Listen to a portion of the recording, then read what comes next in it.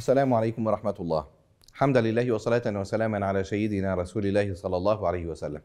في شهر شعبان نتحدث عن إصلاح ذات البين. لماذا؟ لأن الله سبحانه وتعالى جعل المغفرة عظيمة في هذا الشهر الكريم. أيها الأخ الكريم نحن في شهر شعبان جعل الله تعالى فيه فضائل كثيرة. أولها أنك تستعد لشهر رمضان. الاستعداد هذا في حد ذاته خير. ثاني هذه الأمور أن النبي صلى الله عليه وسلم كان يخصه بالصيام واهتمام النبي صلى الله عليه وسلم بشهر شعبان. يجعلنا نقبل عليه ونحن في آمل من الله تعالى أنه سيقبل عنا أعمالنا وأنه سيغفر لنا. ونحن نحب ما كان يحبه سيدنا رسول الله صلى الله عليه وسلم. لأنه لما سئل عنه قال ذاك شهر يغفل عنه الناس بين رجب ورمضان. ترفع فيه الأعمال إلى الله عز وجل وأحب أن يرفع عملي إلى الله تعالى وأنا صائم. الأمر الثالث أن شهر شعبان جعل الله تعالى في ليلة النصف مغفرة عظيمة لأن الله تعالى يتجلى على أهل الأرض بالمغفرة. فيغفر لكل من فيها إلا لمشرك أو مشاح.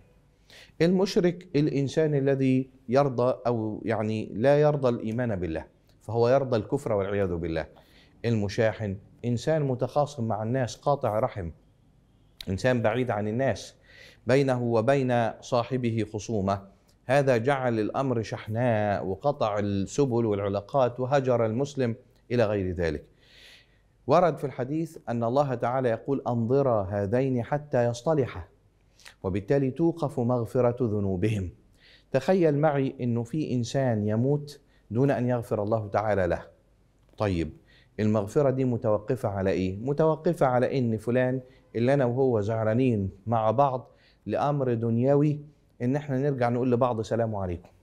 سيد الفاضل فرق بين أمرين بين المحبة والاحترام. الدين لا يطالبك بالمحبة. فلان اللي أنت زعلان معاه محدش بيقول لك لازم تحبه.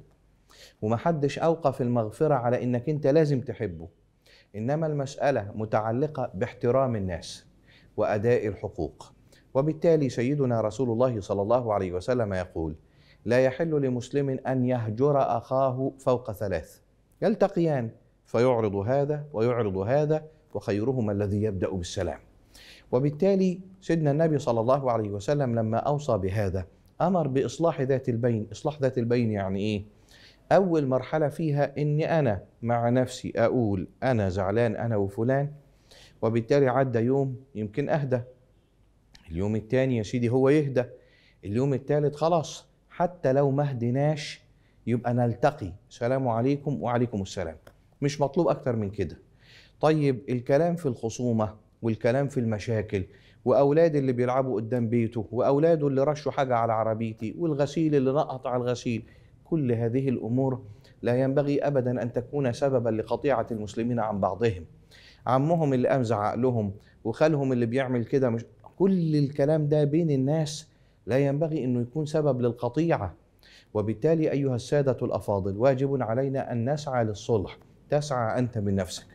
طيب عدت أيام فلان ما نزلش فلان ما طلعش يسلم فلان وفلان ما تقابلوش يسلموا. دورنا نحن من نحيط بهم إحنا المحيطين بيهم.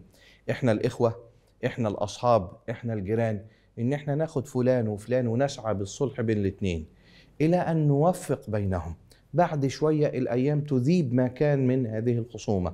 وسيدنا النبي صلى الله عليه وسلم نهى عن إفساد أو فساد ذات البين ووصفها بهذا الوصف الدقيق. قال فإن فساد ذات البين هي الحالقة. لا أقول تحلق الشعر ولكن تحلق الدين. يعني إيه تحلق الدين؟ الحلاقة معناها الإزالة بالموس. فالنبي صلى الله عليه وسلم بيقول الخصومة اللي بين الناس كأنها بتحلق الدين. يعني إيه بتحلق الدين؟ يعني تزيل الدين من أساسه. لأن فلان زعل مع فلان. يبدأ أول حاجة الظلم ما بين الاثنين والظلم ظلمات يوم القيامة. بعد شوية تيجي الغيبة. فلان أنت زعلان من فلان ليه يقعد يذكره بالكلام السوء؟ وبعدين يجي واحد ينقل الكلام السيء بين الناس. أدي النميمة. وبعدين يحصل سباب. وبعدين يحصل تطاول وضرب. الله إيه ده؟ إيه الأمور دي كلها؟ ده أحسن جو يلعب فيه الشيطان. وبالتالي نحن في شهر شعبان نوصي بإصلاح ذات البين. إما إن حضرتك تقول لفلان اللي زعلان معاه تقول له يا فلان لوجه الله تعالى أنا عافيت وأنا مسامح وبعدين تنتظر إن ربنا سبحانه وتعالى هو اللي يعطيك الأجر والثواب. فمن عفا وأصلح فأجره على الله. أو إنه يا سيدي توسط ناس تسعى بالخير بحيث إنه يحصل بينك وبين الفلان اللي أنت متخاصم معاه يحصل بينكم صلح.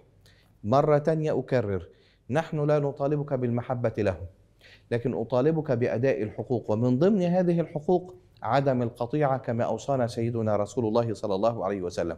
يكفي أن المغفرة تنالها في هذا الشهر الكريم. بسبب ماذا؟ بسبب أن أقول لفلان سلام عليكم ويقول لي عليكم السلام. يغفر الله سبحانه وتعالى لنا هذه الذنوب لأن العاقبة بدون ذلك وخيمة.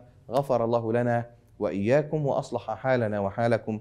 والسلام عليكم ورحمة الله.